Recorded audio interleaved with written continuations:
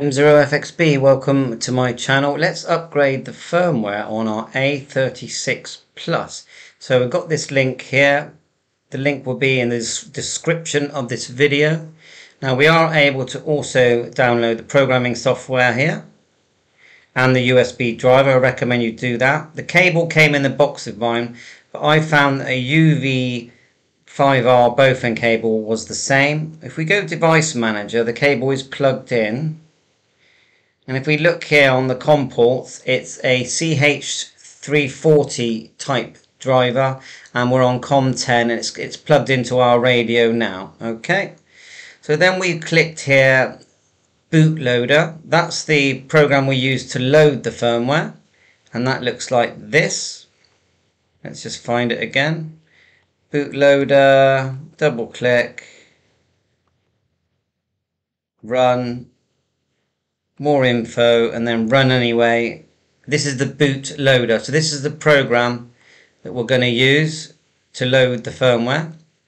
Now, I know it's in Chinese. At the top here, this word says manual. At the bottom here, this word says automatic. This drop down is where you can find the COM10 that we've got. And these three dots here are where we can select the firmware. Now where do we get the firmware from? See here it says A36 plus firmware and you need to check you've got the right model for the firmware. Now there is some instructions here called revamp your TalkPod. So I'm going to add these instructions because they will tell you everything you need to know because you may have an older TalkPod A36. You need to really confirm that you've got the right model for this firmware. Okay, so I'll put the link in the description to help you. The firmware software we're going to download here just A36 plus. And if you look inside it there's the bin. Is it a bin file? It's a KDHX file here. This is the file we're going to use. Let's see if it loads. I haven't done this yet first time. So we'll go back to the loader which is this. We're going to select the firmware that we've saved.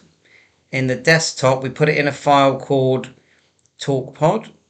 There it is there.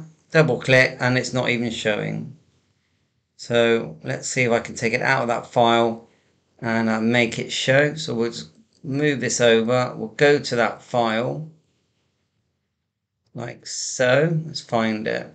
TalkPod. That's the bootloader.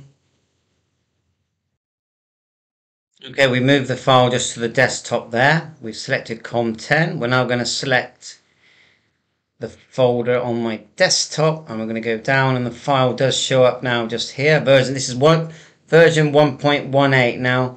It's in there now. If you look at your radio press the menu and then go to you'll see if you go down to the very last menu 54 it will show you what version you've got and I've got version 1.17 okay?